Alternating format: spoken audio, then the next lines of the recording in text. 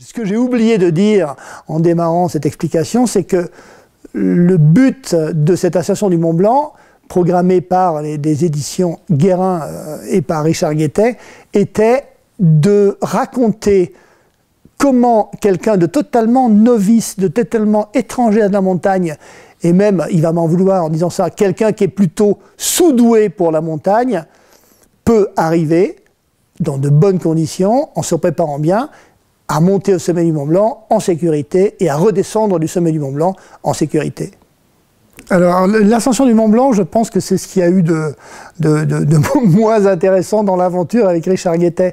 L'aventure débute avec une visite chez Guérin, enfin chez Paulsen, avec Marie-Christine, qui me dit René, est-ce que tu te sens de prendre un, débutant euh, complet, je dirais même euh, quelqu'un de pas très doué, de le former et de l'emmener au sommet du Mont Blanc?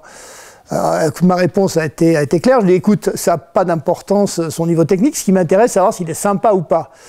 Donc on convient d'un rendez-vous avec Richard qui vient à Chamonix. Il vient, on fait un truc facile puisqu'on fait simplement un aller-retour en plan prat en passant par le kilomètre vertical. Et là je m'aperçois que c'est un personnage effectivement extrêmement sympathique, un grand escogriffe euh, parisien qui est pas du tout, du tout, du tout à l'aise dans la montagne, mais qui a un énorme enthousiasme, qui a beaucoup, beaucoup euh, d'humour et qui est totalement partant pour faire cette aventure. Et on part donc du kilomètre vertical en espérant qu'un jour, on va aboutir euh, au sommet du Mont Blanc. Euh, lorsqu'on a fait le kilomètre vertical, je dois avouer que euh, j'avais un peu des doutes. Puis à la fin, je dis non, écoute, il est de bonne humeur, il tient debout, ça va, on, va y arriver. Il est revenu ensuite à Chamonix et je, je, rencontre sa maman un jour et je demande à sa maman, Madame, mais est-ce que votre fils, quand il était petit, vous lui avez donné tous les jouets qu'il fallait? Alors elle est très surprise, elle me dit bah euh, oui bien sûr il a tout eu. Pourquoi? Je dis parce que franchement on dirait que Richard n'a jamais eu tous les jouets. Je dis plus maladroit que lui en montagne, plus difficilement. Euh, il habite pas dans son corps depuis combien d'années? Alors là, elle rigole, elle me dit mais non, c'est vrai qu'il n'était pas très adroit quand il était petit, mais je pense que maintenant c'est bien et quand même il a fait le Mont Blanc. Je dis ouais, c'est vrai, il a fait le Mont Blanc. Donc pendant quelques semaines avec Richard, nous avons été en montagne à Chamonix pour essayer de lui faire comprendre ce qu'était la montagne, ce qu'étaient des chaussures de montagne, ce qu'étaient des crampons, lui apprendre à manipuler un piolet, lui apprendre à monter, lui apprendre à descendre. Et je dois avouer que ce fut le jour et la nuit entre le jour du Mont Blanc et avant, parce qu'à l'origine, il était pratiquement incapable de marcher droit sur un chemin. Je, plaisante pas. Hein. Euh, dès que c'était un chemin avec des cailloux, il s'arrêtait, il criait, il n'y arrivait pas. Et petit à petit, il s'est tellement pris de passion pour le, le projet, il a eu tellement envie d'aller en haut, et le Mont Blanc était devenu une telle obsession qu'il a vraiment progressé. Donc on a fait des via ferrata pour lui apprendre à être en équilibre, à faire confiance au matériel. On a fait des, marches très longues pour améliorer sa, résistance. On a fait du glacier pour lui apprendre à marcher en crampon où je l'ai obligé à faire des descentes sans que je l'assure et en crampon et je dois avouer qu'il m'a permis d'avoir les plus beaux éclats de rire de l'année dernière, mais des éclats de rire à n'en plus finir. Parce que quand il descendait une petite pente de glace en poussant des cris orgasmique, c'était absolument incroyable.